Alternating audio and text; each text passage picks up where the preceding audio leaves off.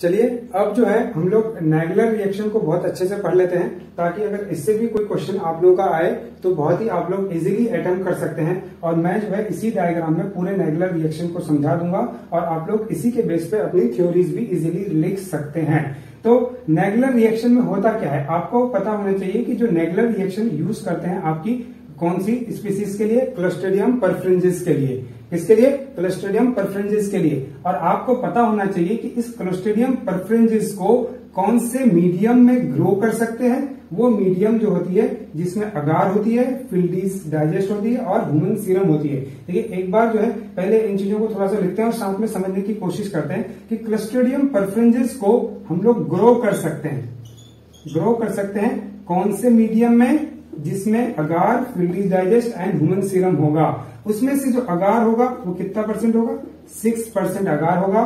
फिल्डीज digest होगा आपका five percent और ह्यूमन सीरम होगा ट्वेंटी परसेंट ट्वेंटी परसेंट ये होगा इसके, इस मीडियम में जिसमें क्लोस्टेडियम परफ्रेंजेस को ग्रो कर सकते हैं। अगर ये तीनों चीज़ नहीं लेना है तो आप एक चीज़ ले सकते हैं, वो है एग योग एग योग और वो ये एग योग कितना परसेंट लेना आपको? फाइव परसेंट तो क्रस्टेडियम परफ्रेंजेस को ग्रो करने के लिए आपने जो मीडियम लिया है, वो मीडियम कौन सा है? आपका, जिसमें agar Fildes digest and human serum होगा, छह पाँच बीस के परसेंट में और एग योग होगी पाँच के परसेंट में। अब देखिए आगे क्या होता है। बहुत ही सिंपल है। ह्यूमन सीरम है मतलब कहीं ना कहीं इसमें ब्लड होगी। तो आप जो है जो आपके बुक में जो डायग्राम दिया गया है वो कैसे दिया गया होगा? ये जो आपका बैकग्राउंड होगा, वो आपका रेड कलर में दिया है। रेड बैकग्राउंड में होगा, ताकि जो जो है, आपका रेड दिखे। और दूसरी चीज़ जो है, आपका क्या है? जो ये मैंने बनाया है, ये क्लस्टेडियम की स्पीसीज है, यानी क्लस्टेडियम की कॉलोनीज है। ये जो है, आपके बुक में दिखाया है। क्लस्टेडियम की स्पीसीज जो है, आपकी जो है रेड कलर में दिखाया है मतलब। या आप एक कलर इसमें ले सकते हैं। और दूसरी जो है, ये यहाँ पे मैंने कुछ ओपेसिटीज दिखाया है। ये ओपेसिटीज दिखाया है, ये आपके बुक में व्हाइट कलर में दिखाया हुआ है। राइट तो ये चीज़ आप लोग थोड़ा सा ध्यान रखिएगा। अब आगे पूरे इसको समझिए अच्छे से। क्या? कि जो नेगुलर रिएक्शन होती है उसमें किसके लिए यूज़ करते हैं? क्लस्टरियम परफ्रेंजेस के लिए। और इसमें ये मीडियम यूज़ होती है और उसके बाद में इस मीडियम में इसको ग्रो कर सकते हैं। इसके साथ साथ और क्या करना होगा इस मीडियम में? एक एंटीबायोटिक का एड कर सकते हैं। वो है antibiotic neomycin sulphate neomycin sulphate क्या करेगा? आपको पता होना चाहिए कि जो आपकी क्लोस्टेडियम परफ्रेंजेस है, ये एनएरोबिक एन एरोबिक जो मैंने क्लासिफिकेशन में बताया था एनएरोबिक बेसिलाई है। तो नियोमाइसिन सल्फेट क्या करेगा? इस एनएरोबिक बेसिलाई को प्रमोट करेगा ग्रो करने के लिए। और दूसरे एरोबिक जो आपका बेसिलस एंथ्रेसिस वाला था बेसिलस सीरियस वाला था, उसके ग्रोथ को इनहिबिट करेगा। मतलब it will inhibit the growth of other it will inhibit the growth of other aerobes other aerobes मतलब it will promote the growth of these anaerobic bacilli only अब देखो उससे क्या हुआ? अब एक चीज़ और देखो। आपको पता है क्लोस्टेडियम परफ्रेंजेस जो आपकी मतलब एंटीटॉक्सिन या टॉक्सिन रिलीज़ करती है टॉक्सिन रिलीज़ करती है ना, और वो टॉक्सिन के बेसिस पे हमने इसको आपका क्लासिफाई किया क्लासिफाई किया था। Type A B C D E में क्लासिफाई किया था हमने, इसके टॉक्सिन के बेसिस पे। तो अब क्या हुआ? अब ये हुआ कि एक तरफ़ हमने लिया, जहाँ पे हमने क्या किया? एक तरफ़ ये भी आपका क्लस्टोडियम परफ्रेंजेस की स्पीसीज है, इधर भी क्लस्टोडियम परफ्रेंजेस की स्पीसीज है। और इस पूरे प्लेट में हमने न्यूमाइसिन सल्फेट न्यूमाइसिन सल्फेट का यूज़ किया ताकि कोई अदर बैक्टीरिया इसमें ग्रो नहीं करे, सिर्फ़ क्लस्टोडियम परफ्रेंजेस ग्रो करे। अब इसके हाफ़ प्लेट में हमने एंटीटॉक्सिन लिया है और हाफ़ प्लेट में एंटीटॉक्सिन नहीं लिया है। एंटीटॉक्सिन नहीं लिया है। मतलब इसमें क्या है? एंटीटॉक्सिन है। देखिए, इसमें एंटीटॉक्सिन है। और आपको पता होना चाहिए, इस एंटीटॉक्सिन को न्यूट्रलाइज करेगा कौन सा?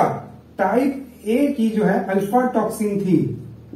क्या थी? अल्फ़ा टॉक्सिन थी। वो इसको क्या कर देगा? न्यूट्रलाइज कर देगा। न्यूट्रलाइज कर देगा। क्यों? एंटीटॉक्सिन को न्यूट्रलाइज कौन कर कौन कर रहा है? टॉक्सिन और वो टॉक्सिन रिलीज़ हो रहा है टाइप ए से, और टाइप ए से रिलीज़ हो रहा था अल्फ़ा टॉक्सिन अब अल्फ़ा टॉक्सिन ने इस एंटीटॉक्सिन को क्या किया? न्यूट्रलाइज किया। मतलब इसके सराउंडिंग में और कोई ग्रोथ नहीं होगी। मतलब इसके सराउंडिंग में कोई भी ओपेसिटी जो मैंने इधर आगे बनाया है, ये ओपेसिटी व्हाइट कलर की ओपेसिटी नहीं दिखेगी। अब आगे और देखिए ओपेसिटी दिखती क्यों है।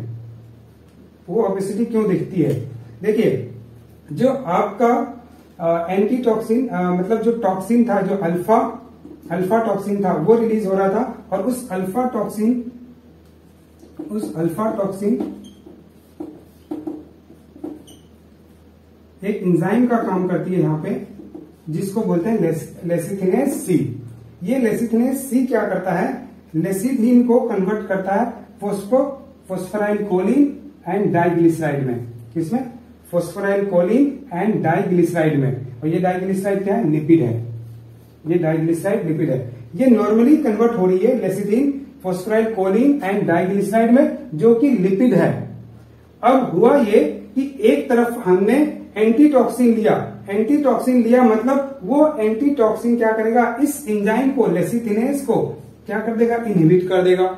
ये जब लेसिथिनेस को इनहिबिट करेगा तो लेसिथिन कन्वर्ट नहीं होगा फोस्फोराइल कोलिन एंड डाइग्लिसराइड में मतलब लिपिड में कन्वर्ट नहीं हो पाएगा। और जब ये लिपिड में कन्वर्ट नहीं होगा तो इसके सराउंडिंग भी व्हाइट ओपेसिटीज नहीं होगी।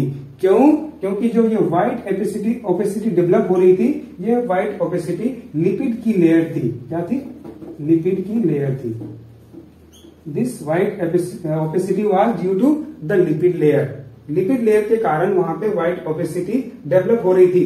क्योंकि क्योंकि इस पार्ट में एंटीटॉक्सिन प्रेजेंट है। मतलब वो एंटीटॉक्सिन क्या किया? लेसिथिनेस को कन्वर्ट नहीं होने मतलब लेसिथिन को कन्वर्ट नहीं होने दिया लिपिड में, और लिपिड में कन्वर्ट नहीं होने दिया। मतलब इस पार्ट में क्या होगा? व्हाइट ओपेसिटी डेवलप नहीं होगी। व्हाइट ओपेसिटी डेवलप नहीं होगी। उसको और कैसे समझ सकते हैं? कि इसमें जो अल्फ़ा टॉक्सिन था, उस अल्फ़ा टॉक्सिन ने इस एंटी टॉक्सिन को न्यूट्रलाइज कर दिया। और वो न्यूट्रलाइजेशन की प्रोसेस कैसे हुई? ऐसे हुई कि अल्फ़ा टॉक्सिन जो है लेसिथिन को कन्वर्ट नहीं होने दिया। उसने क्या किया? अल्फ़ा टॉक्सिन ने इस लेसिथिनेस को क्या कर दिया? इनविट कर दिया। मतलब इस एंटीटॉक्सिन ने इस एंजाइम को इनविट कर दिया और ये लिपिड में कन्वर्ट नहीं हुआ। लिपिड में कन्वर्ट नहीं हुआ, जिसकी वजह से व्हाइट व्हाइट लेयर बनती थी या व्हाइट ओपेसिटी बनती थी, वो यहाँ पे डेवलप नहीं हो पाएगी। वो यहाँ पे डेवलप नहीं हो पाएगी। और इस पार्ट में आपको पता है, इस पार्ट में क्या है? एंटीटॉक्सिन नहीं है। जब एंटीटॉक्सिन नहीं है तो न्यूट्रलाइजेशन की प्रोसेस नहीं होगी। जब न्यूट्रलाइजेशन की प्रोसेस नहीं होगी तो ये लेसिथिन आराम से कन्वर्ट होगा फोस्फराइल कोलिन में एंड डाइग्लिसराइड में। मतलब लिपिड में इजीली कन्वर्ट हो जाएगा। जब इजीली लिपिड में कन्वर्ट हो जाएगा and due to that lipid there would be white colour और white opacity around the Clostridium perfringens colonies आए बात समझ में? बहुत ही इजी था। एक बार और समझाऊँगा, ताकि जो है आप लोगों को कोई भी दिक्कत नहीं रहे।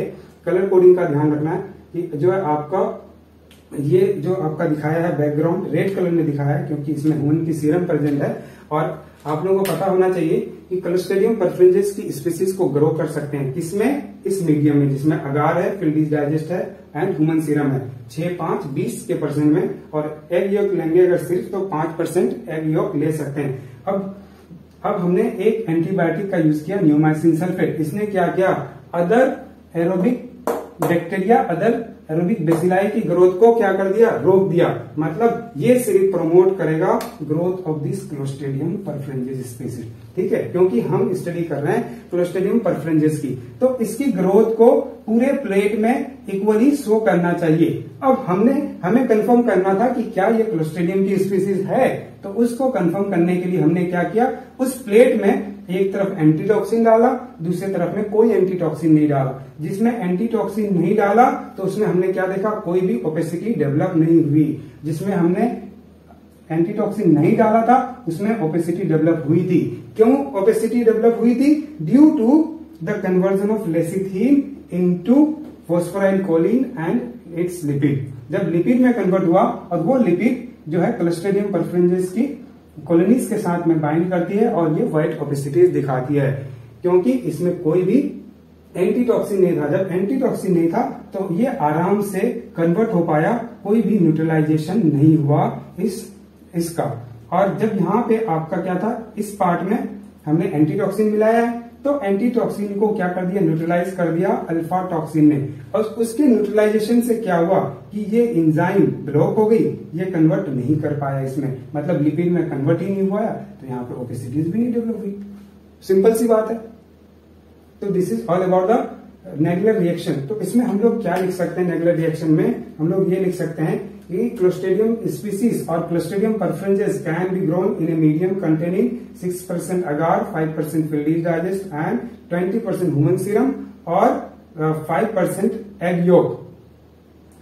In the whole plate, we are adding neomycin sulfate that will inhibit the growth of these species, uh, other aerobic species. Now, in half of the plate, we are adding antitoxin.